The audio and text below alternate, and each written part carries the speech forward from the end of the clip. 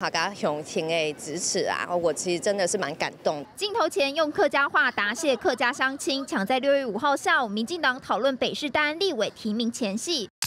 客家界发出一封给赖清德的联署声明公开信，说大安区是全台北客家人口最多的地方，客家乡亲不分蓝绿支持谢佩芬，因为他是客家之光，恳请赖清德身体力行，展现对客家乡亲的重视。包含多个本土社团成员和蔡英文总统的客语老师黄永达都署名支持。其实我们人口还是蛮多的，然后其实呃平常是比较隐性的，所以他们很希望说台北看到一位客家代表，他们可以尽力出去拉票，尽力。说这个是客家人，希望大家支持。打着客家子弟的名号，这字字句句打中赖清德心坎。因为全台比例占将近两成的客家票，赖清德很重视，极力拉拢民进党逐渐流失的客家票源。甚至在四月十二号提名记者会结束后，直奔的第一个行程就是台湾客家联盟协会座谈。但现在恐因民主大联盟的立委提名，让努力化为乌有。未来如果能够有机会。跟民族进步党在大安区有合作的话，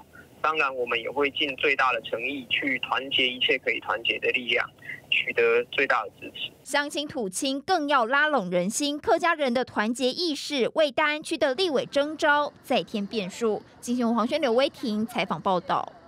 立刻下载《静新闻》App，一手掌握新闻时事，尽善尽美，尽好新闻。